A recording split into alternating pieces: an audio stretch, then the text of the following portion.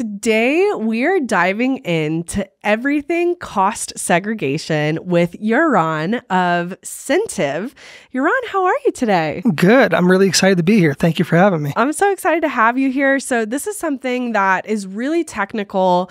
If you've not already listened to our podcast about tax planning, go back a couple of episodes. I'll link it in the show notes. But for anybody who's already listened to that and they're thinking that, you know, they want to buy a short term rental to save money on their taxes, a key component of this is a cost segregation study. So maybe you can just kick us off with telling us a little bit about how people are saving money on their taxes by buying short term rentals and where this study comes into play.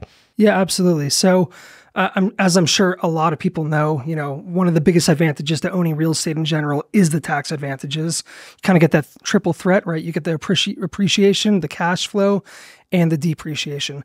So, what we're focusing on is on that depreciation side of things. And basically, um, when you buy a property, uh, you get to depreciate the house and any real property on the property as a business expense. And so the IRS allows you to depreciate that property over a long period of time. Uh, if it's, you know, a residential building, it's 27 and a half years. If it's commercial, it's over 39 and a half years or 39 years, sorry. Um, and so basically what we're doing is we're uh, allowing you and helping you maximize the benefits of that. How do we do that? So instead of taking uh, a little bit of that depreciation every year over that 39 years, let's say, we take a lot of it up front. So it's kind of the same concept as if I offered you, you know, hey, you can either have uh, $10,000 over, you know, monthly over the next two years versus take $10,000 today. What would you rather? Mm-hmm. Um, you know, it would make a lot of sense to get that ten thousand dollars today because then you can use that to reinvest or to you know mm-hmm. buy whatever you need. So mm-hmm. that's the major thing that we're doing here. Um, we're basically taking that straight line long term depreciation and we're taking it all or as much of it as possible now. And just a real world application and a good way to explain it is let's say you're making $100,000 uh, in income this year. So in general, you're going to be taxed somewhere between 25 and 35% on that. So let's just say $30,000. Uh, by doing a cost segregation study, in theory, if it's done properly with the right properties and such, uh, basically uh, that $100,000 you won't get taxed on that at all. That will be non taxable. And so that $30,000 that would have gone to the government is going to be able to sit in your pocket and you can use that to reinvest. This is so powerful. And this mm-hmm. is like really life changing for me when I learned about this. And, you know, the crazy thing is, is not every CPA yeah. knows about this. Yeah. I actually find it shocking. You know, I talk to CPAs all the time. A lot of them don't know what this is. My dad's CPA. Oh, Jeff. There you go we're going to send this to her. Okay. Well, absolutely. yeah, we love working with CPAs. And yeah, a lot of CPAs don't know what this is. And even for the most of them that do know what this is, 99% of them don't do this, uh, mostly because it's very labor intensive and it's very specialized in the tax code. It's not just a general CPA type of practice. It's very specialized. There's not technically a course to learn how to do this. This is something that you learn by working in it.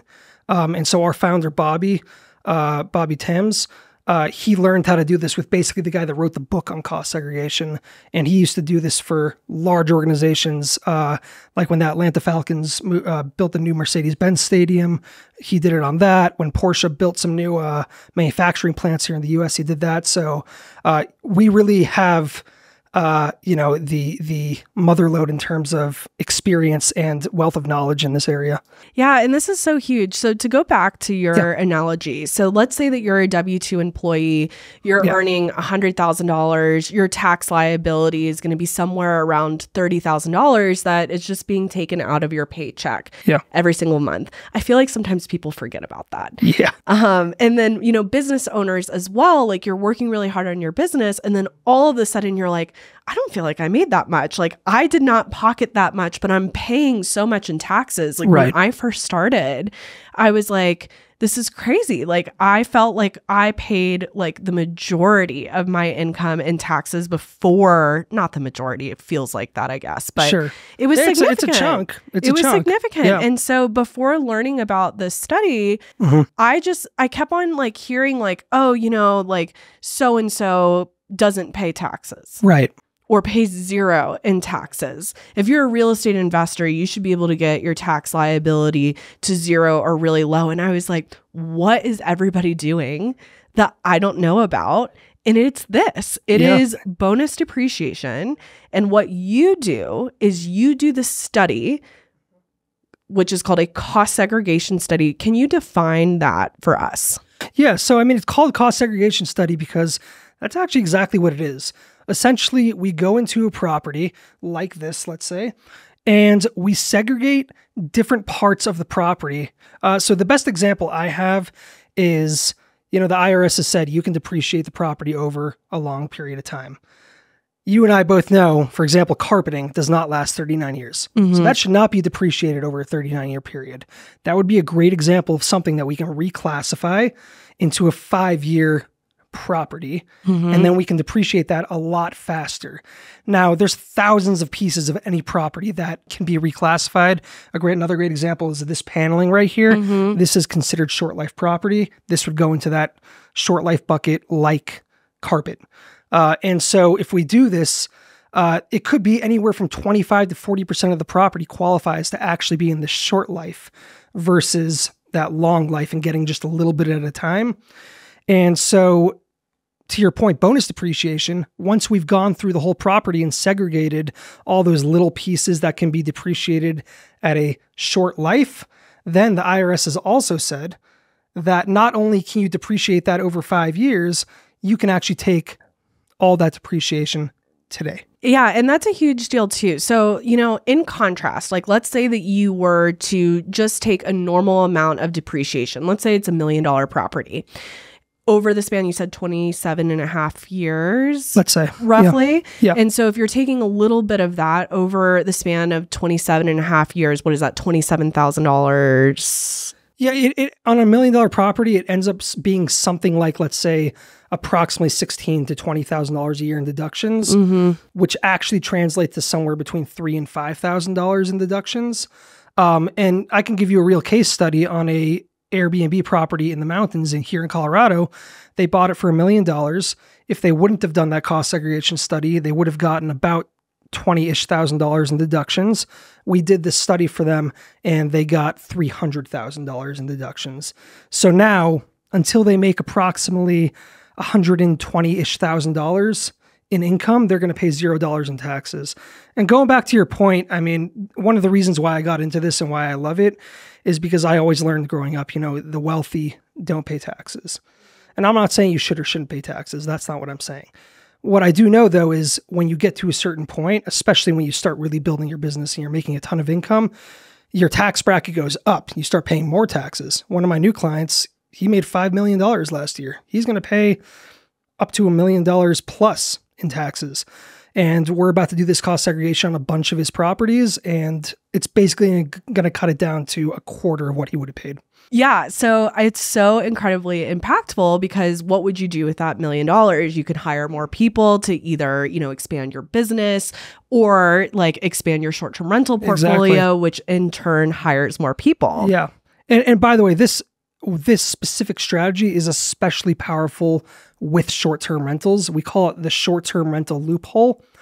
And basically, in general, you're allowed to use the deductions. So I give I give a be- the better way to put it is uh, when you get this uh, this accelerated depreciation, you're allowed to use it against your income but there's some caveats and the caveats are that if you're not a real estate professional or it's not a short-term rental then you can only use it against the income coming from the properties.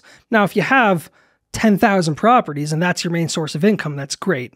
For most of us though that maybe only own you know one two three short-term rem- rental properties that's not going to be as useful.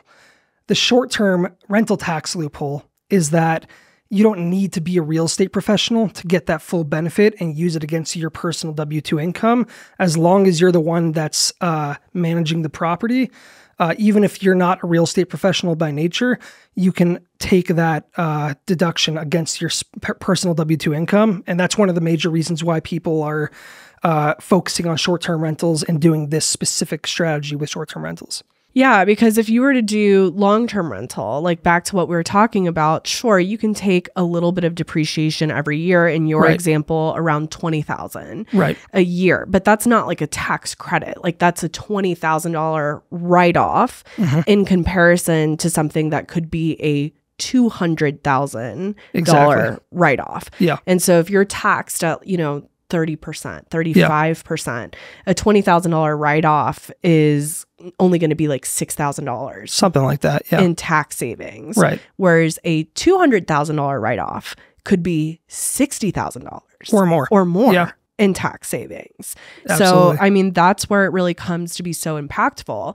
So, okay, there's a lot of moving parts here. So, we're talking about, you know, lowering tax liability through bonus depreciation. In order to qualify for it, you have to mater- materially participate. Right. And you have to have a cost segregation study conducted. Correct. That's where you come in. Yes. How does one conduct a cost segregation study and can it be done retroactively? That's a great question. So, uh, in in terms of the process of it, it's it's pretty simple. It's just labor intensive. Essentially, uh, what we do, or or anybody that does this generally does, is we get some information up front. It's usually the address of the property, what you paid for the property, when you actually place it in the service, aka started renting it out.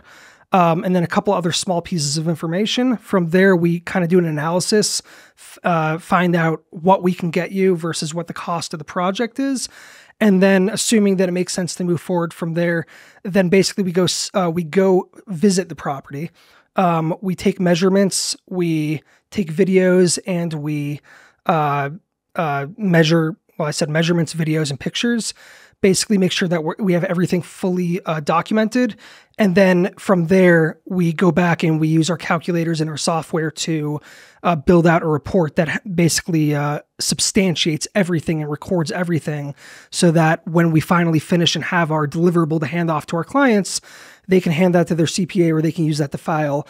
And it's fully substantiated. There's nothing in there that uh, doesn't have some sort of a reference to it. So, you know, in the case that the IRS ever did come knocking, there's nothing to ask about because they could just look at it and go, okay, that's there, that's there. We see that you guys got everything, and that's really the you know our side of things to make sure that we get everything, uh, make sure that you guys get the most benefit, and decrease the liability from the IRS by making sure that everything's fully substantiated. That makes sense. So I've actually I've had a study done and I was shocked at how detailed it was. Yeah, they get really detailed. It was like shower rods mm-hmm, and mm-hmm. like my carpet and like the the cabinets and like yep. everything that was like an interior component was recorded in this like really long report sometimes people ask me can i do this on my own? Like if i were yeah. to go online and like do like a diy study can i do it? What is your thought on that? So yeah there are definitely some diy options out there. I mean you can do it. You're not going to get the full benefit by doing that. Um, you know in the more diy options number one uh, you're going to miss a lot of stuff uh, that somebody that's an expert in this field would know. So you're not going to get the full benefit of it.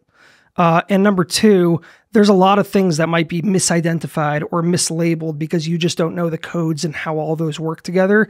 So while in certain options, especially if it's like a very, very uh, low cost property, like let's say under under hundred thousand dollars, that might be a great option to do one of those DIY situations. Um, but if it is a more expensive property, you don't want to do that because you're going to leave a lot of money on the table and you could potentially do it wrong, which opens you up to liability with the IRS. Mm-hmm. Yeah. I mean, I, I'm not someone who's a DIY person by, by trade, and this is definitely not one. After seeing the report, like you have to be extremely detail oriented and come up with cost for so many different like little items. For sure. It, it really is intensive. Um, how much does this report cost? I mean, it's definitely going to depend on the project. Um, they can go anywhere from $2,500 all the way up to, you know, 50,000 plus, depending on the complexity of the project, depending on the size of the property. Um, so, for example, you know, on a on a residential uh, short term rental that you pay a million dollars for, you're probably looking somewhere in that five to eight thousand dollar range. If you have, you know, a stadium, for example, that's definitely going to be up closer to that 30, 50 plus thousand range, depending on, you know, circumstances, logistics, size, complexity. Mm-hmm. And we did mention not everybody can do this. So let's talk about like some camps that people could fall into. Let's say that you're not a real estate professional and you only own long term rentals, do you suggest doing the study? You can still do it. And depending on the situation, yes, you should. Um, you won't be able to, in that specific situation, you may not necessarily be able to write it off against your personal income, but you'll get to use those deductions against the income coming from the properties. And if it's big enough, you know, that could be a big chunk of your income and that could save you a lot on your taxes. So, I personally say if it's an income producing property uh, that you bought within the past 10 years, it's worth having the conversation. Uh, and we'll be the ones to tell you if it actually qualifies for the study and if it's actually worth it to do it, you'll, if you'll get your ROI, for example. Um, but it's definitely worth having that conversation. Okay. And then let's say that I purchased a property years ago and I've been operating it as a short term rental, but I just had no idea that this existed. Could I go back and do this? How does that work? Absolutely. Yeah. I mean, you're entitled to the depreciation on your property if you own it. Um, so if you know, I have a perfect example. We have a client that bought a property in 2018 for about two and a half million dollars, uh, and they didn't know that this existed until now. Uh, we are going to go and we're going to do the study now. And they're going to get, they may have already depreciated a little bit of it. So there's going to be a little bit less in that pie to take advantage of. But most of it is still there to take advantage of. So he's going to end up on that specific property getting four or five hundred thousand dollars in deductions. That's crazy. So that's that that was actually my story. Like I went back after right. learning about this and did the study on properties that I had previously purchased. And then it was pretty cool because I was able to work with my CPA to amend my tax return. Yeah at a date that I I had like a huge tax liability and so I was able to get a refund. There you go. Based off of doing that study. And so like working with someone like you, working with a tax professional that can like look at your situation holistically, they can apply this study where it's best utilized. Absolutely. Uh, yeah, and you know, on the point of retroactively, even if you sold a property, what? Yeah, even if you sold the property, you can do it if it was in this current year. So if you sold a property five years ago, you can't take advantage of that. But if it's 2024 and you haven't paid your 2024 taxes yet, but you sold a property that was income producing earlier in this year, you can still get the full uh, benefits of a cost segregation on that property. That is something new for me. I did not know that. How cool. Um, and then there's some changes that are happening on like how much of the benefit you can take. So it's been less and less every year. We're in 2024 at the time of this recording. What is it at this year? Yeah. So what we're talking about specifically is bonus depreciation. So no matter what the bonus depreciation rate is, you can still do a cost segregation study.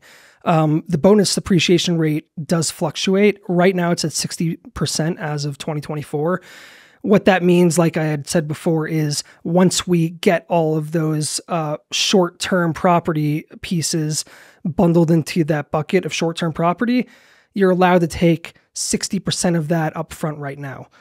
As it's slated right now, it's currently going to be 40% next year in 2025, and it's theoretically going to phase phase out over the next couple of years. With that being said, there's currently a uh, a bill in Congress. Uh, it passed the House or it passed the Senate, and we're either we're past Senate or the House. We're waiting for the other to sign off on it, which would bring it back to 100% bonus depreciation from 2023. We do expect that to go through. Um, so we're just waiting on that. But yeah, right now, as we speak, we're at 20%, uh, 60%.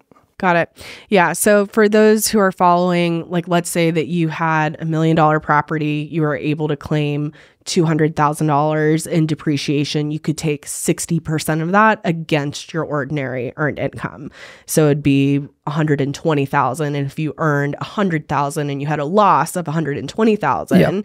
your tax liability is zero. Now, a lot of people might ask, like, well, what happens if, you know, I took a loss that's bigger than what my actual income was? What happens to that loss? Um, so you mean from a cost segregation? Yeah. So let's say that, you know, I got $120,000 in, you know, deduction and I only made $100,000 and I lost 120. Does that carry over That's a into great question. Yeah. the next? So any of those, uh, any of that depreciation that you get from a cost segregation study, that's yours to use as you please over a 20 year period. So it lasts up to 20 years. So in the case that you're uh, providing, which is frankly the ideal case, we've literally force that person into a net operating loss where on paper they've lost money.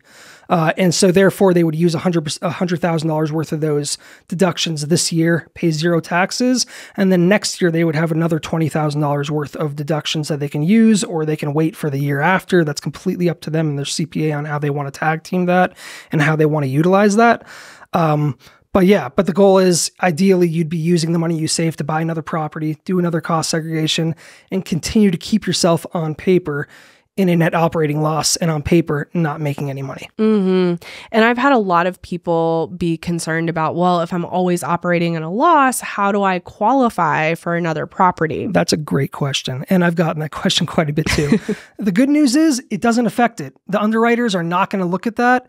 Uh, as a matter of fact, I've actually heard in some cases where it actually helps you uh, qualify because sometimes they do look at depreciation, especially on larger uh, commercial properties.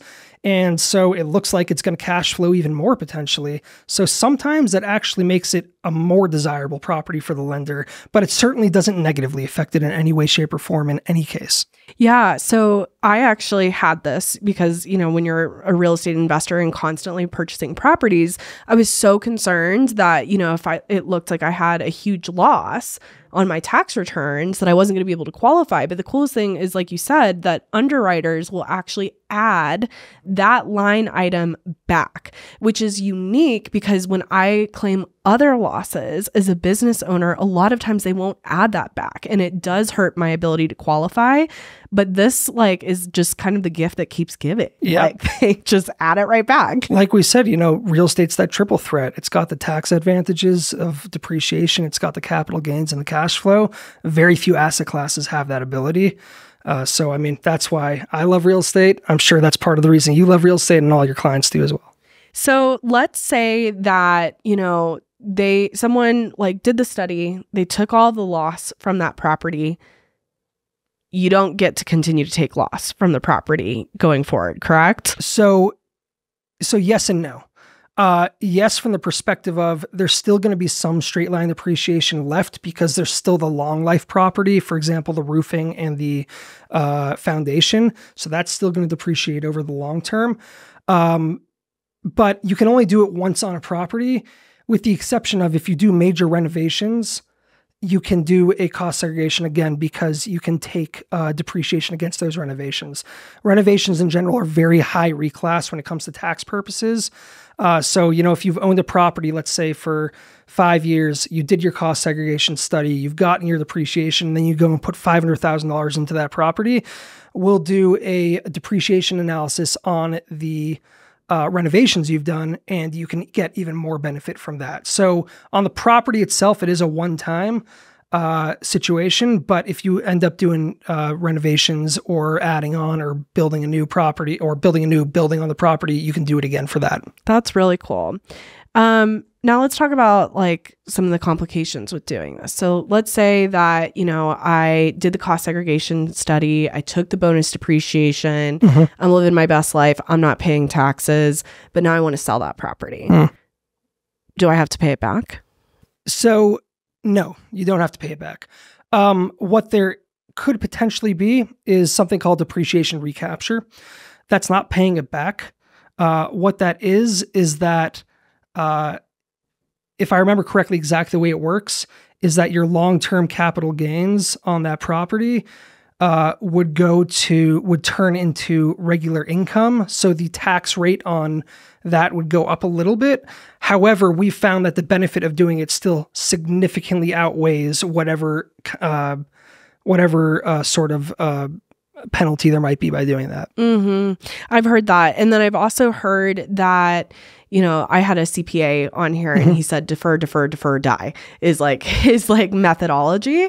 And what he said is you could actually roll it into a 1031 exchange. You can do that. Absolutely. So, like from and correct me if I'm wrong, but from my understanding, it's you would 1031 exchange mm-hmm. into a new property. Let's say that, you know, I had a million dollar property and then I'm 1031 exchanging into a 1.5. Yep. That would just follow over into the new property and so I couldn't do a cost segregation study on that new property up to the, you know, million dollar mark, but I could on the excess. Yeah, yeah. So, yeah, you clearly know your stuff, which is awesome. Okay, good. Um, yeah. So, yeah, you can definitely do that. You can 1031 a property and then do a cost segregation as you stated. Um, the basis of a million dollars from the old property that you won't be able to do it on um, but on that extra half a million, you can, like you got said. it now. And, and, we actually have a lot of clients that they'll do a cost segregation. They'll 1031 the property. They'll buy a new property and they'll do that 1031 on the new basis of you know because mm-hmm. it's a mm-hmm. bigger property. They did renovations. So as a matter of fact, if you do a cost segregation uh, on a property and 1031 it, if I remember correctly, you're actually required to do a, a cost segregation on the next property because it's they, they want like kind for like kind. That's kind of what they're looking for, the consistency there. That makes sense.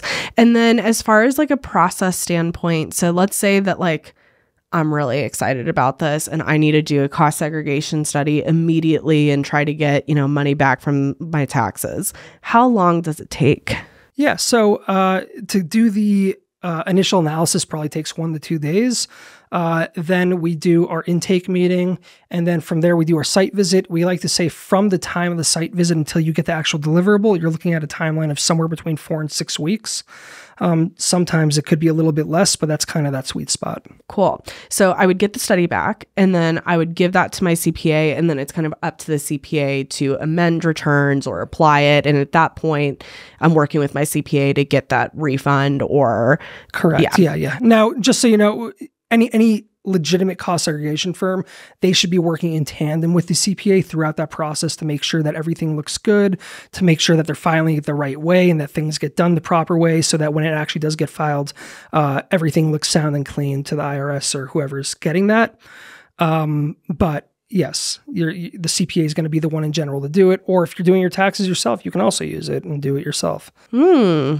Again, I'm not a DIY person. I yeah, would never try to do that. that especially if you know you're starting to get into the world of owning properties and mm-hmm. you know mm-hmm. rentals and such. Taxes start to get a bit more complex. Mm-hmm. Um, yeah. Cool. So let's say someone wants to get in touch with you to conduct the cost segregation study. How do people find you?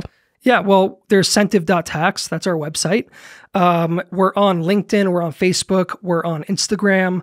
Uh, you know, you can get in touch with me, yaron.pacht at centiv.tax. Uh, on our website, there's a free uh, estimate. Uh, basically, you can input all your information into that, and then we'll get back to you within 48 hours with an estimate. You can call us also, 720 755 1112. Awesome. And we'll include this all in the show notes. Thank Amazing. you so much for sharing with yeah. us today. We thank really you. appreciate it. Yeah, thank you so much for having me. You bet.